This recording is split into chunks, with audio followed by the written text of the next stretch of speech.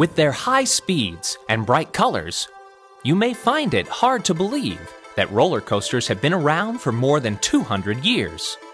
But since their beginning, the basic science behind roller coasters has remained the same. It's the science of forces, energy, and motion, called physics. Like any other amusement park ride, roller coasters need energy to work. But it's what happens to that energy that makes roller coasters unique.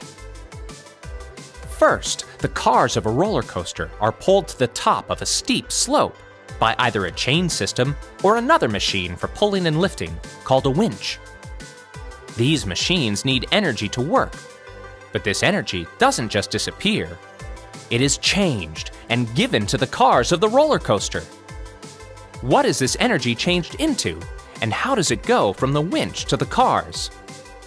An object sitting still at the top of a hill has stored energy due to its position. This position gives it the chance or potential to move down the hill, and so we call this stored energy potential energy. As the cars of a roller coaster are pulled up to their starting position, they are gaining potential energy.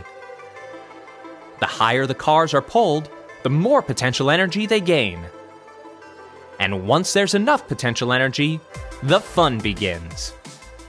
As the coaster cars zoom down the track, their potential energy is turned into another kind of energy.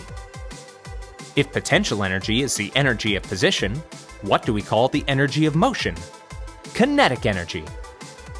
Both this potential and kinetic energy rely on a fundamental force of the universe the force of attraction between all things that we here on Earth feel most strongly as the downward pull of gravity.